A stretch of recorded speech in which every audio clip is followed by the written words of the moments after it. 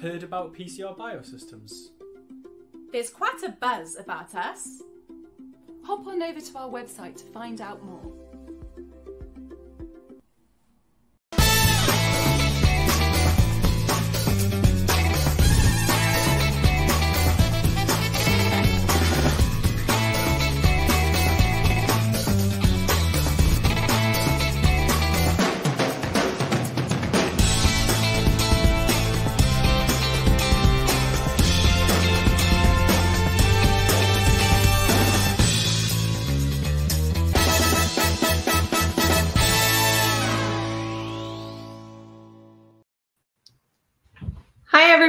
Welcome to Pint of Science DNA Detectives. I'm your host, Ashley, and today you're going to be hearing from three scientists that currently work at the Francis Crick. Uh, so, before we get started, I have a little bit of housekeeping. First, welcome. Thank you for coming. Thank you for showing up to this online event. Um, just so you know how uh, we're going to go, how we're going to play things out over the next hour or so is the show format is going to have three scientific talks from three lovely different scientists. And then at the end of each of those talks, which is about 10 minutes long, so the first half an hour of the show, we're going to have a DNA questions panel. So if you have any questions about the talks or anything else, please put them in the comments box. And so you might be asking, what sort of questions am I really asking? Uh, or would you like us to ask in this sort of uh, comments box? Well, I divide them into serious, silly, and sci-fi. So serious is you're going to see these uh, scientists actually talk about their work. And so if you have any serious questions about what they're doing, please, please, please put them in the comment box. We'll try to get to as many as we can. Silly questions? Well, when are you ever going to be um, have access to a panel of scientists that work directly with DNA? So you can ask for DNA fun facts. Or if you're like me and you watch a lot of sci fi, you can ask, well, you see, I've been watching this show and they do this crazy thing with DNA, and is it possible? So, along those lines, Siri, serious, silly, sci fi, please put any questions or comments in the comment box. We only ask that you be civil throughout this. And so, once again, I'm going to keep you a little bit longer. Before we get started, we're going to go over some overarching DNA basics. And what I mean by this is in order to understand these talks, we want everyone to be focused on what DNA is and caught up to speed. So, if you think about our bodies in general, we contain several complex organ systems that allow us to function properly. So you have the skeletal, the nervous, the blood system, the respiratory, the muscle, etc. All of these work together to make sure that your body can physically run. Now, if you look a little closer, each of these tissue systems or organ systems is built up of a tissue, which is really a bunch of different cells or the building blocks of this tissue that work together. So in this case, you're looking at potentially a zoom in on muscle, which will contain muscle cells, but also some fat cells and maybe some blood veins that help uh, fuel the muscle, right? Now, if we zoom in farther on the cell itself, the functional unit of each of these systems is a cell. So muscle contains a lot of muscle cells. And so a cell distinguishes itself by uh, its DNA. And all of this DNA is packaged within the center of the cell in an organelle or a compartment called the nucleus. And so within that nucleus, you get a bunch of DNA. So DNA controls the cell, cells dictate what the tissue does, tissue makes up the big organ system. But what is DNA actually? So DNA scientifically is consists of a sequence of nucleotides. So what are nucleotides? They're essentially uh, different molecules that can chain together in a string. In your DNA, you have four different nucleotides, adenine, tyrosine, guanine, and cytosine. For, for all intents and purposes, we're just going to call them A, T, G, and C. Now, the A, T, G, and C can string together in a long sequence, but it also actually matches with the pair sequence and twists to form this DNA helix that we see. So, another thing to know about DNA is that this sequence encodes for genes. And so, what are genes? Genes are the things that regulate what a cell can do. So, if you think about it, you have a bunch of different cells in your body. All of these cells have the same DNA, they have the same genes, but each of the cells is actually doing something different.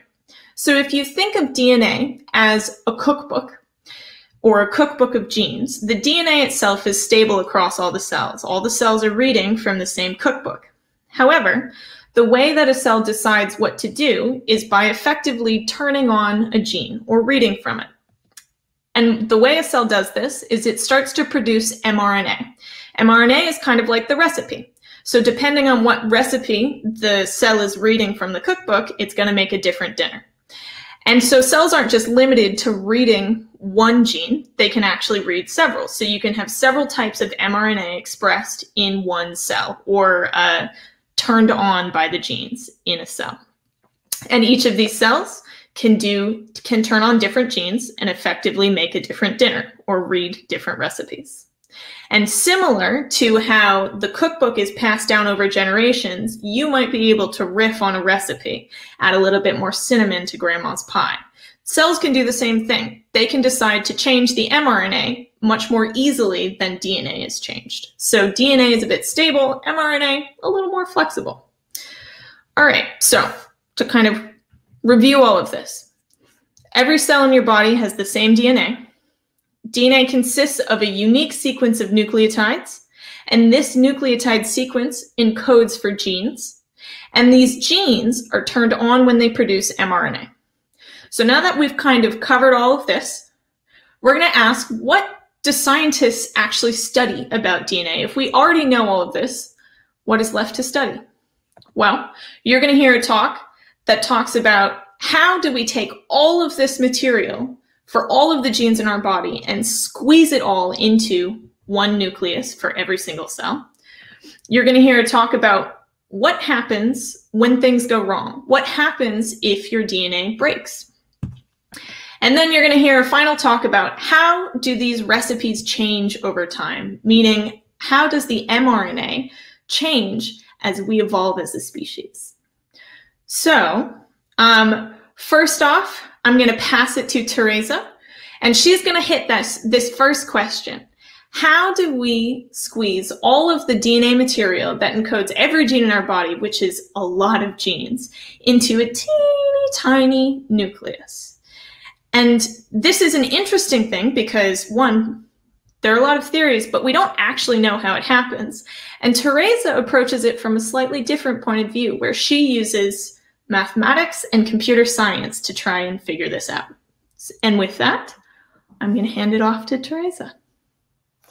Uh, thank you for a great introduction, Ashley. Uh, so, hello, I'm Tereza, and as Ashley mentioned, I will be talking about chromatin spaghetti and how we can squeeze the chromatin into tiny nucleus. So you're right now probably asking yourself a question, okay, why are we talking about chromatin spaghetti? What is going on? So don't worry, I will try to do my best to explain everything to you by the end of the talk so that you understand why it is really important for scientists to understand the rule of chromatin spaghetti. So, as Ashley mentioned at the beginning, we as human beings consist of trillions of different cells, and they differ in shape, size, number, and most importantly, in their function. But what they do have in common, all of the cells, is their DNA, a molecule that is inside of the cell, as Ashley mentioned at the beginning. And what is super interesting about this DNA molecule is that it carries out instructions for each of the cell and it dictates them what to do when to do that how to behave what the shape size to be when it should divide so in my talk i won't be focusing only on the pure naked dna i will be talking about the complex so DNA is a very social molecule. It loves to be surrounded by their friends. And by their friends, I mean a certain molecules that we name proteins. So DNA, together with their friends, their buddies, called a complex, a team. And a lot of teams together, we call, as scientists, we call them chromatin, chromatin fiber. So my talk will be focusing about this of turning around this chromatin fiber and its 3D, three-dimensional organization in a space.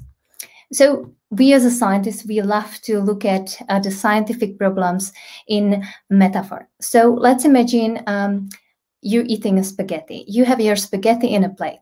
So most of the time, I don't know about you, but in my case, it's always a huge mess. It's like a large bundle, completely entangled, knotted, just one big mess.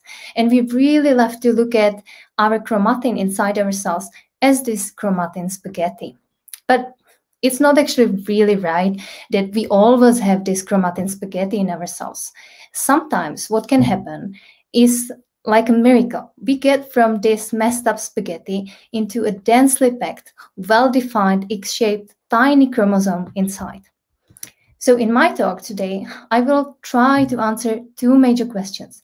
First of all, when this thing happen? When can we get from this messed up chromatin spaghetti into densely packed, tiny X shaped chromosome? And secondly, most importantly, how can we do that? So, for the first question, when? The answer is pretty simple and it's been known for many decades. So, when our cells want to divide into two, they need to go through a series of events that we call cell cycle, as you can see here in the picture. So, cell cycle, there are many events, and when cell progresses throughout the cell cycle, it changes. You can see or you can imagine the cell cycle as an analogy to a changing seasons throughout the year. So, at the beginning of the cell cycle, let's say in spring as you wish, uh, the uh, the chromatin inside the cell is just like the chromatin spaghetti, messed up, entangled, just one big mess. But as the cell progresses throughout the cell cycle, it changes. So does the shape and the structure of the chromatin. And just before the cell splits into two, this messed up chromatin turns by by some surprise or miraculously turns into this well-defined X-shaped chromosome. So the answer to this question when is just at the beginning or just before the two cells splits into two. So just to give you an idea of how complex this problem is and how actually amazing it is that we can get from chromatin spaghetti into a densely packed X-shaped tiny chromosome. Let's have a look at the London Underground. So if you imagine that we took the whole London Underground, the whole map, the whole routes, and we were trying to squeeze it into a small suitcase, I bet that no one can do that. It's just, it's just not possible. But actually, ourselves are able to squeeze that type of biological London Underground into a tiny chromosome. So, how can we actually do that? And going back to our analogy with chromatin spaghetti or just eating our own spaghetti, I don't know about you, but when I am eating spaghetti, I need to use a fork. Otherwise, I won't be able to eat anything. And the purpose of the fork is that you actually fold the spaghetti onto it. So we had this idea of do we have some sort of biological fork in ourselves that, el- uh, that allows the cell to kind of work up with this messed up chromatin and fold it into a densely packed chromosome? So the answer to this question of whether we have a biological fork is no. We do not have a biological fork, but what we do have inside ourselves is a biological ring that we call condensin or cohesin. And this biological ring, surprisingly, has the ability to turn the messed up condensin into a nicely organized, dense, X-shaped chromosome. But it's just not ring alone yeah the ring has a fellowship of the ring like a faithful friends supporting elements that help the ring to fulfill its function so just to wrap up we were trying to explain what the chromatin actually is. So the dna alone plus their friends that we call proteins together they form the chromatin fiber. This is what we're interested in. And this chromatin fiber tends to be pretty messed up. But not always sometimes it can form this densely packed X-shaped chromosome, as I was mentioning here. And we also were trying to explain that this change happens just before a cell splits into two. And also, we mentioned that behind this change is this biological ring that we call condensin and cohesin. But what we still don't know is how can we actually do that? What's the function of this ring? How does this ring do this? So we as a computational scientist, what we love to do is that we create hypotheses, our models of how biology actually works. And today I will be talking about two models that could explain the role and function of this biological ring in our cells. So the first model is called loop model. And it's based on the fact that our biological ring, called condensin or cohesin, can jump off or on the chromatin chain. Once it's on the chromatin chain, it starts to walk along the chromatin chain in such a way that pulls the chain inside of its ring and thus forming a loop. And if you imagine a sequence of these events, then we start to form a lot of loops, larger and larger loops. And when we stack all the loops on the top of each other, we are then able to form this nicely densely packed X-shaped chromosome. A second model that I would like to describe is called a clustering model.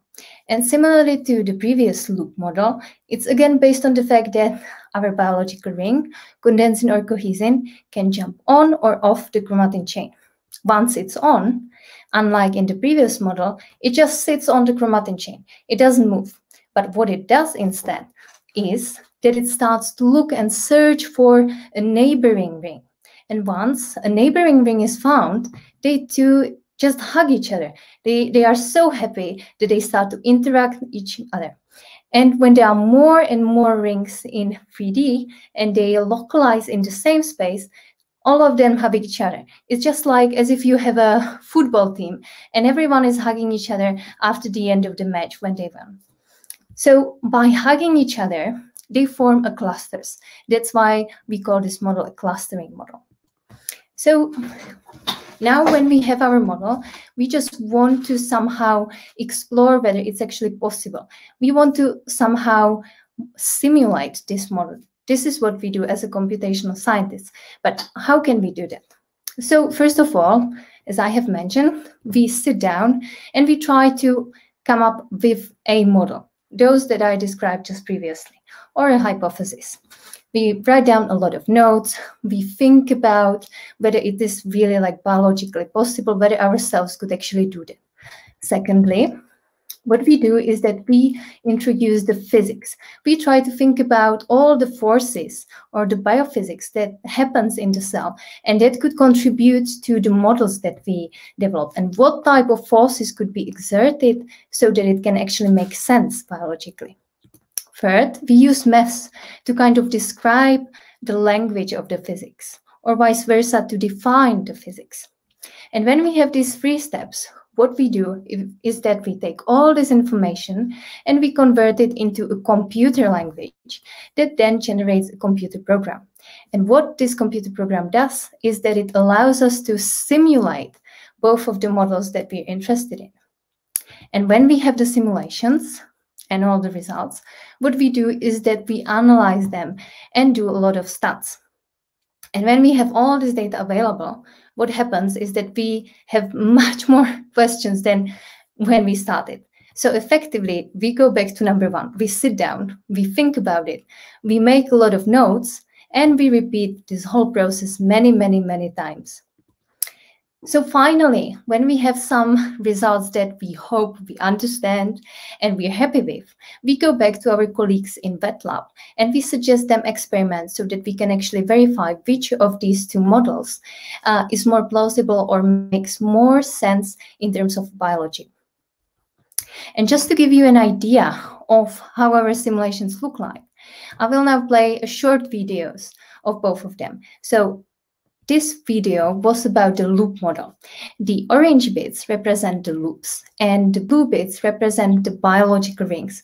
As you can see, these biological rings make a really nice ring backbone. So the second video corresponds to the clustering model.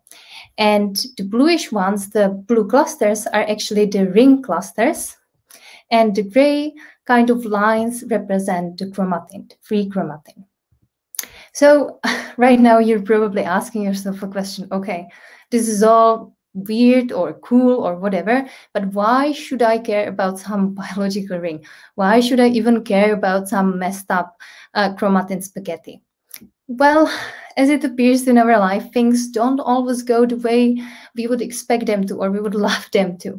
And so does uh, this applies to our biological ring condensin cohesin.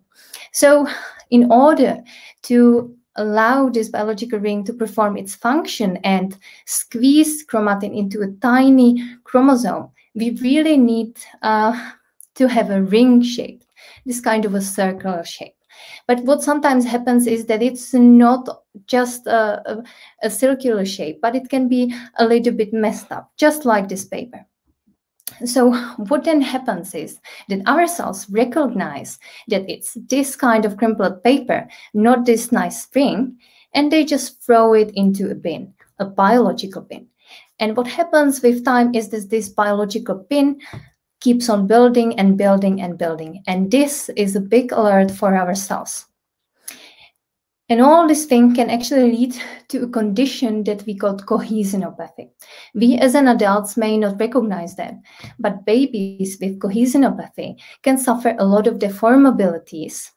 They can be born without toes, fingers, nails, and they need a lot of extra care. So the reason why we're trying to understand the biological ring and its activity on chromatin is that we're more likely to trigger the events when things don't go the way we would expect. And we're more likely to find the proper treatment for cohesinopathy so that we allow those babies to have a better life. And with this, I would like to thank you for your attention, and I will be back at the end of the Pint of Science to discuss your questions.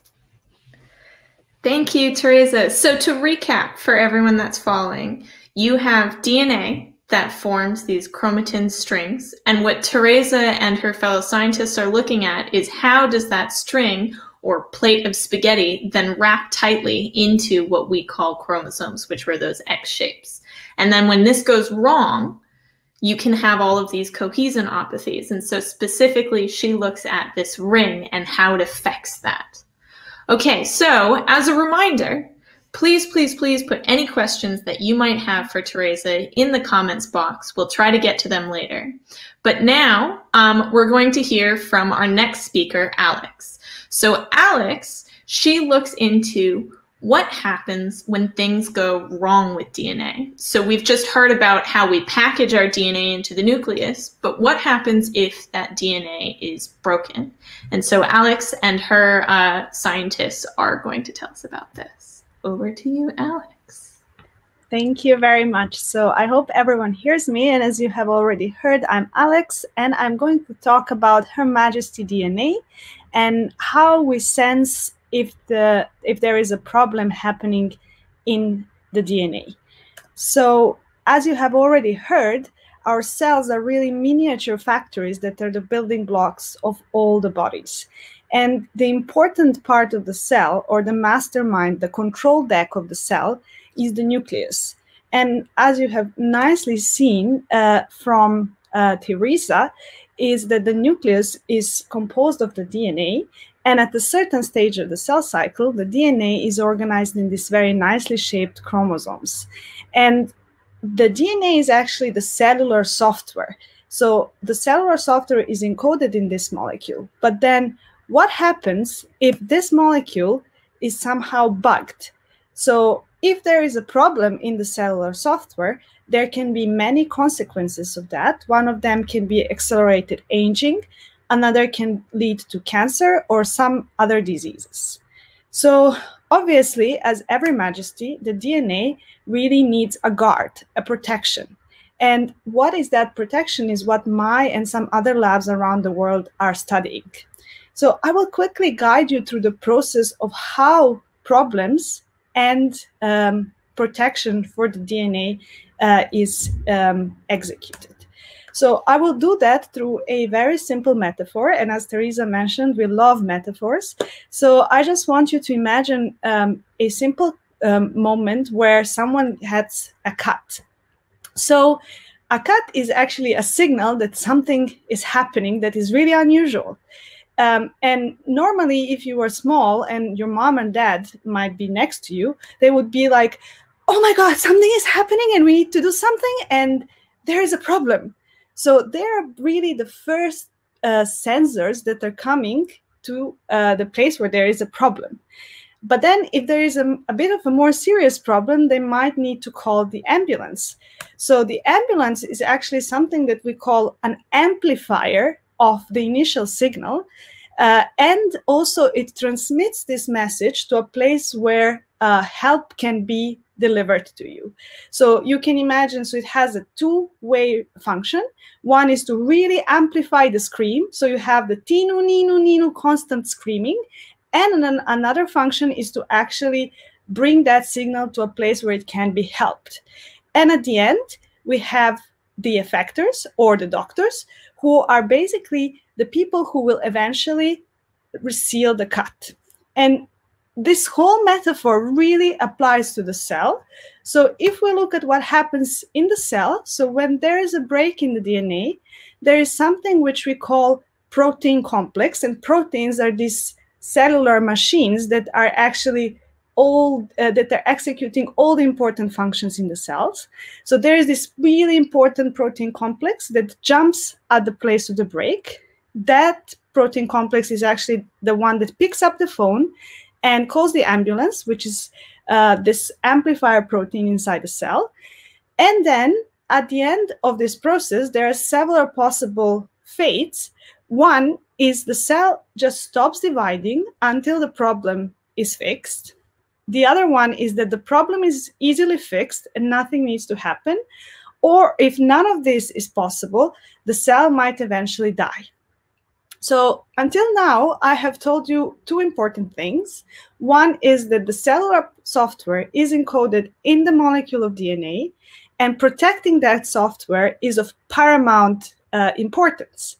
And we have proteins that are uh, doing uh, and executing that kind of function.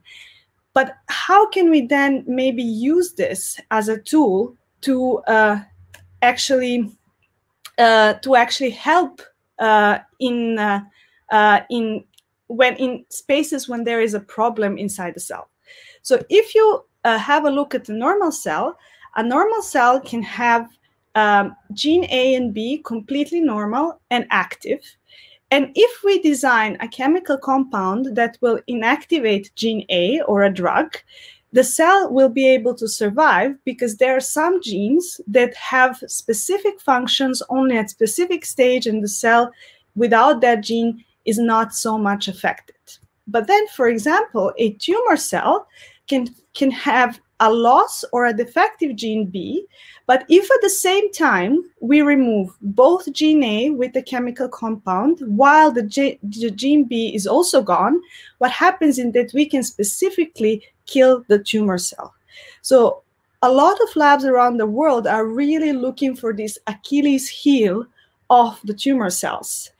And one interesting example of that, which I I'm, uh, I believe some of you can uh, have heard, is uh, the Angelina effect or uh, the BRCA1 uh, and 2 mutations in breast cancers.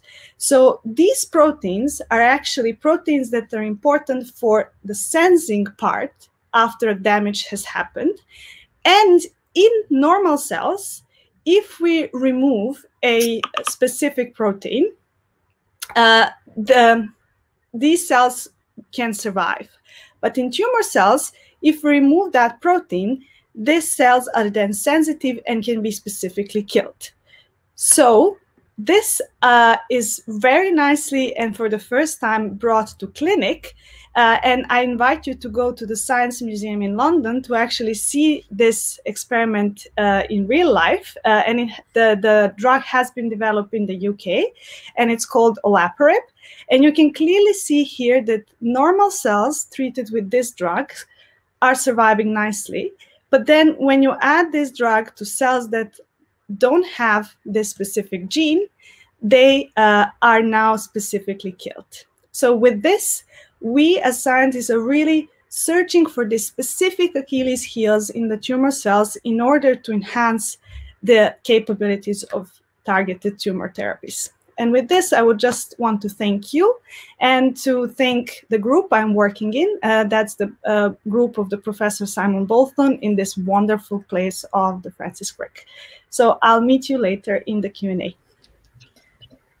Thank you so, so much, Alex. That was fantastic. So, kind of to recap what Alex said, uh, you have DNA, and in that DNA, it's very important that the code isn't bugged, right? And so we have this whole system that's set up to protect that code.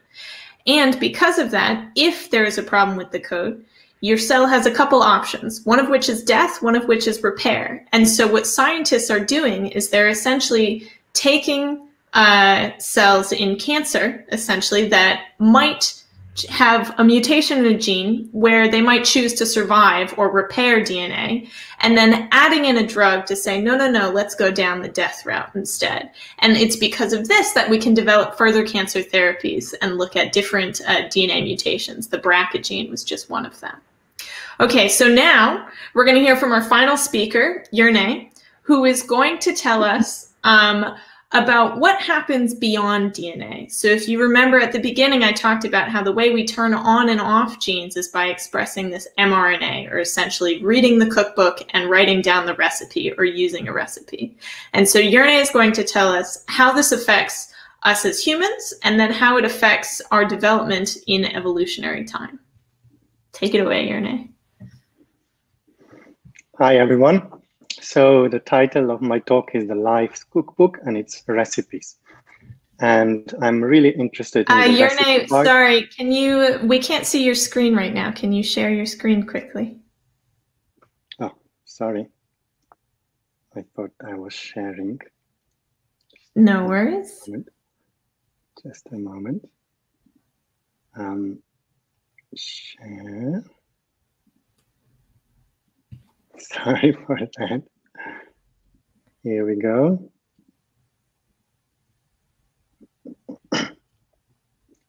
All right, Looking perfect. Good? Yep, we can see right, it. Here we go. So um, I'm an RNA biologist. So while this is a session about DNA, I really want to show how a molecule that is chemically a cousin of DNA gives a lot of fluidity to the system of expressing the genes. So we're talking about the DNA as the cookbook. So we could talk about RNA as the cook that is making the recipes for the molecules of life. And you can see here in this simple diagram that we have various types of RNAs, but the one that I'll talk about most here is the RNAs called mRNAs, which contain the information for the proteins. And proteins are doing most of the jobs in the cell. So these mRNAs are quite important.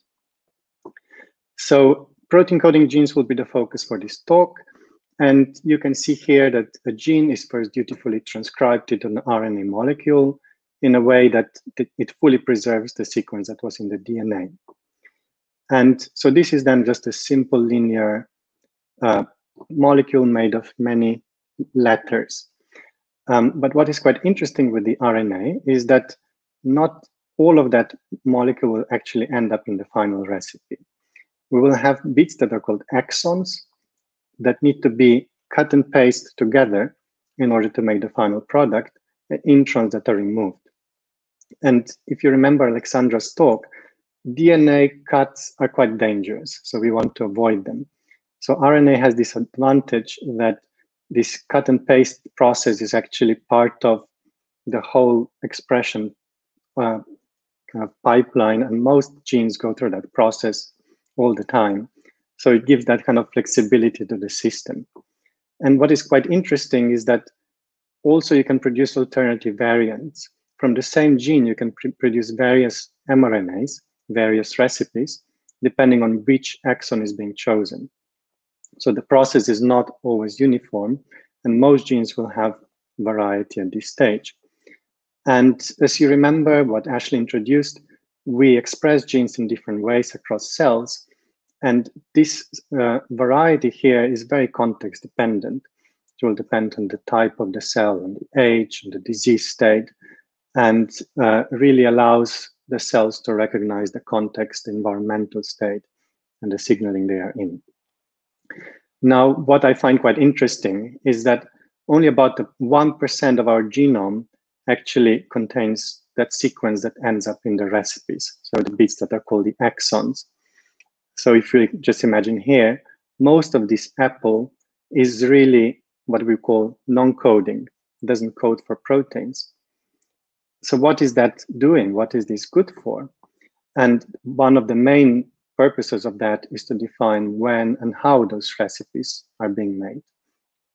And Tereza talked very much about how the structure of the DNA can influence this process. Um, now, what I'm very interested here, and I'll talk about in this talk, uh, is the fact that a large proportion of the genome is derived from repetitive elements. Now, depending on how you assign them, you might talk about half of the genome, but this particular study actually suggested that more than three quarters of the genome is made of some form of repetitive sequences. And you would think about repetitive sequences generally being less functional. That's what's generally believed because they somehow just repeat themselves. And a very common source of repetitive sequences is something called retrotransposons. Um, this might originate to about a third of the genome. And this you would consider a very simple variant of kind of viral-like propagation. HIV gene uh, is, for example, a retrovirus that goes between DNA and RNA. This is a very simple version of this process where you have retrotransposon in the DNA that can transcribe itself into the RNA and then has a way to insert that back into the DNA. And it can propagate itself along the DNA. Now, what's very important is that 99% of these retrotransposons in our genome are fossils, so they are not able to copy themselves anymore. They are remnants of past integrations. And one that we have been studying quite a lot is a family called Alus that contribute about 10% of human genome. We have over a million of those copies, and they are specific for primates. So most of them have been copying themselves in an ancestor of primates, in the very kind of origin branches of primates. Um, but they, a few of them still keep copying themselves. You can see a few hundred are actually human specific. But importantly, vast majority of those are fossils. So they have accumulated mutations over the age and have accumulated lots of variation. They're not actively copying, but they're just starting to diverge from each other and creating lots of um, possibilities within their sequences. And one of the possibilities that they arise is that they can themselves carry within themselves a sequence for an exon. We've found, together with these colleagues, just to highlight the fact how collaborative the science work always is, um, that the variation within Alus within thousands of sequences leads to creation of new exons. We call this Alu exonization. And a lot of those exons have actually already started to contribute to new functions in human tissues and have contributed to our evolution. And if you look at tomorrow's issue of Nature, you will see a study where we found how an exon from a family of mammalian uh, transpose, uh, mammalian repetitive elements protects us from Alzheimer's and dementia. So they do have important functions.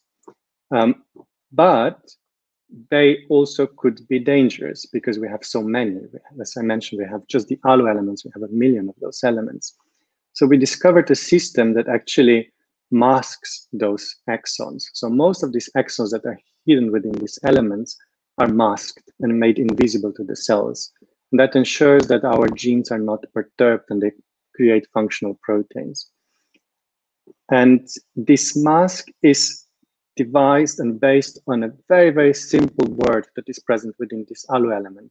It's a word, word made of a single letter, just a sequence of a letter that we call U. So you have to have at least eight of those U's in a row, and you can attach this mask to the element and hide them. Um, what we found is that mutations within this simple word can actually disrupt that mask, they release it, and that will actually initiate splicing and what we call this cut and paste process. And it will create aberrations within these transcripts because these exons have not evolved yet to be functional. And the recipes that are now made from these genes will generally perturb the genes and will create proteins that can't do their functions, which can lead to broad variety of diseases because we have so many of these exons. Um, now, we see that these mutations can unmask the exons to, to change the recipe, but I mentioned that this is also important for evolution. The same process, if it's given enough time, will actually accumulate enough mutations within the exons themselves to create new functionalities, new proteins, and new functions. And um, in a way to summarize that, we see that genome is full of potential for making new recipes. We have thousands and thousands of new potential exons. Perhaps we have more potential exons than we have real exons in the genome. But most of those exons need to be masked in some way. And I've just mentioned one mechanism, but we have many, many different ways to do that. And it's been discovered by many different people. I give you some links here to various um, writings. I've myself written some kind of a conversation piece around this topic. And of course, we are all dealing a lot on the topic of masks right now, so it fits the, the topic. Now, what we studied also is how this unmasking happens. And we were able to trace the unmasking process by looking at how long have these Alu elements been present in our genome. We can, we can do by just comparing the genomes across various primate species. And if we see an element being in common between, for example, a human and a New World monkey, which is having quite a distant evolutionary ancestor, we can presume that this element must have been in the genome for quite a long time, for many, many millions of years. But if an element is shared only with gorillas, for example, so the old world monkeys, then it's only a few million years old. And what we find basically that the younger elements have uh, uridine-rich words that are very, very long, whereas the ones that have been around for a long time have shorter uridine-rich elements, which means that they are much less masked. And indeed, we also found that the ones that give rise to exons that contribute to the recipes in our cells are the ones that have been around for a longer amount of time. And this was done by this group of people. Um, so we would really like to summarize this as kind of a dimmer switch dimmer control for evolution that gives the capacity of evolution to gradually create new innovations and new functions. So the function is already there, the exons are there from the very start, but they don't emerge right away. They don't immediately become recipes. This uridine stretch has to gradually shorten in order for the exons to start giving rise to, to the recipes of our molecules in our cells. And we find that as kind of a nice toolbox for evolution. So we talked about the fact that we have this huge apple, which doesn't necessarily make exons, but it has a huge potential for making new recipes. And this gradual process of unmasking releases this potential of making the new recipes. And I find that very nice kind of a principle to think about also in the way that we communicate in our culture, in our language because the way we use our language very much depends on the context. Sometimes we will chat about something to our friend that we would not talk about publicly. The way a politician speaks might be different to the way I speak here in a pint of science presentation and so forth. So, in a way, how the genome has this vast resource of potential that then is unlocked in a gradual manner, in a very nuanced way, teaches us the importance of context in a way that we use information. And to conclude, I would like to touch on this interesting study led by Chris, Luria, and Warren, where we found that the longest genes in our cells are the ones expressed in neurons, which are the cells of the brain. So they have these longest pieces that are actually cut out and removed. But we also found that these are the pieces that contain this kind of hidden potential and new exons. They have lots of cryptic exons that you can actually detect in very, very low levels in the brain. So actually this exons are present, they are kind of exploring the space of opportunities. And we think that there's a lot more to understand about this process. We don't really know why this is the case. So lots of unknowns really, and um, I'm looking forward to inspiration from other people and anyone on this talk, and feel free to come back for any ideas. Thank you very much. Thank you so much, Jernej. So, kind of to summarize what Jernej said, is that you have your cookbook and you have your recipes. And the cookbook kind of has some filler space between each of the genes or each of the recipes. And what we, a lot of this is what we call repetitive elements, meaning a lot of G's in a row or a lot of A's in a row. And some of these have the ability to hop around and some might even insert themselves into a recipe. And that can actually change how that recipe is made or expressed over time, which will eventually lead to either disease or getting a new skill or, or our evolution in general. So, really, really fascinating talk, Jernej. Okay, so I'm going to invite all of the other speakers back, and we're going to enter a bit of a Q&A session. So um, first, kind of just to get the ball rolling, I want to remind anyone watching, please, please, please put your questions in the chat box, but just an easy one that we got earlier. Um, so from the audience, do flora and fauna have different base nucleotides? So the, the sequence of letters that I talked about the, at the beginning. Uh, can anyone answer that? I'm going to pick on you if you don't volunteer. So. Well, yeah, if no one is interested, I can start and then I can gradually pass it on others. So, as far as I understand, so the ACGT, the tiny bits, like really the nucleotides, as Ashley mentioned at the beginning, really the, the tiny ones that then form the sequences of the DNA, those are the same in all the species. But of course, how these ACGT are kind of um, in the form of a sequence, this does differ not only fauna and flora, but species by species. Yeah, and also it can even differ, um, let's say, between humans. Yeah, because this is the evolution, and this is also what could create uh, a source of mutation if the sequence is not maintained. So, is this kind of satisfying to answer the question, or does anyone want to, you know, follow up on that? So I think that that was a perfect answer, and it kind of leads into another audience question, um, which is so the sequence has to be maintained, kind of as Alex was talking about, and so we all use the same things to write the sequence, but it's slightly different between people, between species, between flora and fauna, etc. Um, so can damaged or mutated DNA be fixed? And I think this is kind of for Alex, right? Mm. Yeah, that is an interesting question. Uh, yes and no.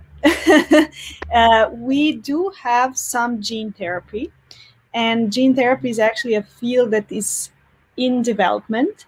So uh, we are working on being able to fix problems in the DNA, but obviously there is a limitation to every tool we have in our palette.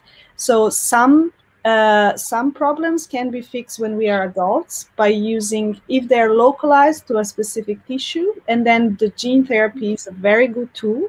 But then in other cases where the changes are bigger, so bigger ch- chunks of DNA are damaged, it can be quite challenging. So we are not there yet. So long-winded answer for a yes and no kind of question. So, kind of along those lines, we have we have some really great uh, questions. So, um, there are many conditions that we kind of know a little bit about the genes. So, Down syndrome, for example. Um, and are we moving towards being able to understand uh, more of these at a DNA level? And will this help us in a way. And so, a more, I guess, general way to put this is are we at the stage where we can start predicting diseases from genes? Um, and is there a way that we can start fixing them? So, you've kind of gotten into maybe a little bit about that. And I'm going to toss this one at Jernej since you've been quiet. Okay, it's a tough one. So, on one hand, the Down syndrome, we're losing a whole chromosome. So, are duplicating the chromosome in this case, actually. So, um, we are learning from what the genes on this chromosome are doing. And sometimes there, there is a group in the Crick which actually finds that they can replicate some of the symptoms of Down syndrome by just duplicating specific genes in there. So you don't need to duplicate the whole chromosome. So there might be ways to then ameliorate the problems by just decreasing the expression of those specific genes. And there are ways to do that nowadays. You can try to control gene expression with various systems um, or just kind of their activities or so forth. So we're certainly, you know, making huge progress in terms of understanding how to deal with diseases where we know the cause. But on the other hand, there's this question: Can we predict diseases just by sequencing everyone, even though we don't necessarily know what is that specific mutation leading to specific diseases, but just somehow collecting all the sequences. We're using more and more artificial intelligence to do that. And so I think really the computational innovations are very much going hand in hand with molecular biology these days. And it's work in progress. But I would say, you know, from the talk I gave, the fact is that everything is in constant flux and the variety is the norm in populations. So I can imagine this will always be a challenge. I can't imagine we'll ever fully solve it. Okay, and so now along those lines, for a slightly more sci-fi question, since we're saying our, our, our DNA is kind of constantly in flux, um, audience question, so does our DNA change over time? We've kind of said yes. But to the point of if you committed a crime when you were much younger, um, and police have that DNA, would you be able to be caught when you're older since your DNA supposedly changes over time? Um, anyone want to go at that one? I want All this right. one. Go ahead, Alex. I, yeah, I really like this question. So uh, I, I always have this short and long answer. So short one, uh, we can be caught. yes, we can be caught. uh, long one, uh, there are windows uh, of changes that are changes within a lifetime and changes across longer time scales of evolution. And within a lifetime, there are things that can change. But for example, in the specific case of what people are measuring when they're looking at the pattern, when they're like doing the crime investigations, they're picking specifically parts of the genome that are stable over long periods of time. So therefore, they can detect that it was you because these things won't change, although there are some small pieces of the genome which can change during your lifetime. And I guess Jernej can have additions to this. Maybe. Yeah, sorry, just to kind of like jump in, why why do some pieces not change and others do? Mm, that's a, that's as well a good point. So uh, some of this has to do with the sequence. So uh, there are some parts of the genome which uh, Jernej may be mentioned a little bit, but they're called repetitive sequences. And uh, so repetitive means that there is a chunk of the sequence that just repeats over and over and over again.